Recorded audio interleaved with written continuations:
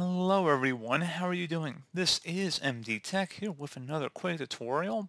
In today's tutorial, I'm going to show you how to enable the Windows Spotlight feature on your Windows 10 or Windows 11 computer. So basically, it gives you new images, you know, regularly throughout the day or, you know, throughout the week.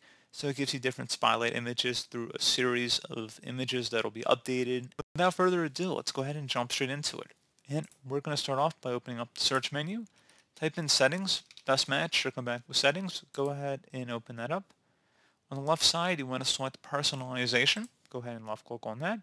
And then on the right side, you want to scroll down underneath lock screen. Go ahead and open that up. And then where it says personalize your lock screen, click inside the drop down here and you can set it to Windows Spotlight. And if you ever want to turn it off or disable Windows Spotlight, you can click in the drop down and set it to either picture or slideshow. And you can also just actually disable the background picture entirely if you just didn't want to see any image, but that's not what the purpose of today's tutorial is.